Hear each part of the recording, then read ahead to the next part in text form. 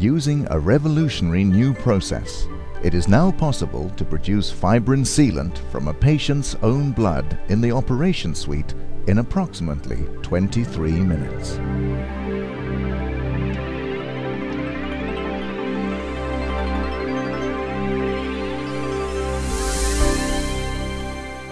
The Vivostat system.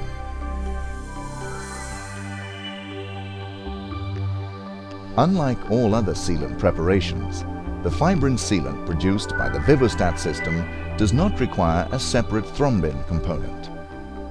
The sealant preparation process is convenient and fully automated, and inline process controls ensure reproducibility from patient to patient. The entire process takes place in a sterile disposable preparation unit of highly innovative design. Using the Vivostat preparation unit requires just a few simple steps. At the time of surgery, citrate supplied with the system is added to the collection chamber. 120 milliliters of the patient's whole blood is collected directly into the same chamber using the attached tubing system. The tubing system twists off, leaving an air and fluid tight seal.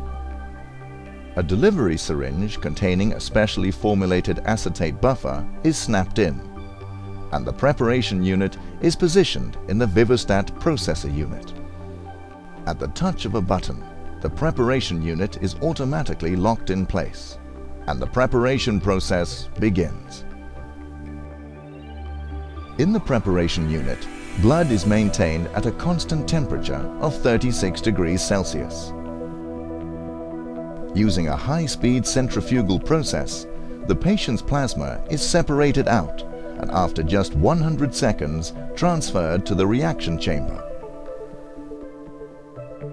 A highly specific enzyme that converts fibrinogen to fibrin 1 is released from the cartridge and dissolved in the plasma. Rotating at high speed, the fibrin 1 polymer, a natural clotting intermediary, is gradually deposited in a thin layer in the chamber as the enzyme cleaves fibrinopeptide A from fibrinogen. Residual serum is squeezed from the thin protein layer and transferred back into the collection chamber.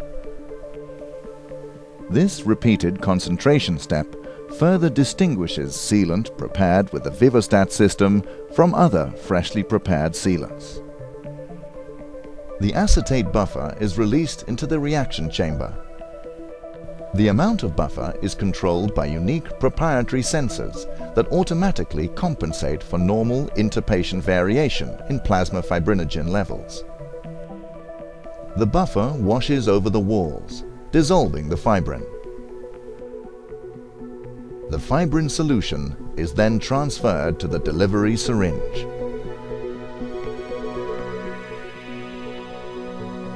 The process is now complete.